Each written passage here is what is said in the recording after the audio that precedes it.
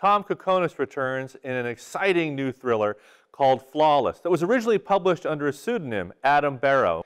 In this book, Flawless describes the central character who is a corporate hatchet man and also a serial killer. So not only is he cutting costs, he's also cutting up women. And he's managed to, lead, to flawlessly balance those two sides of his life until now. Then two things happen. First, he falls in love with a woman, and after all, that's complicated because women are his victims.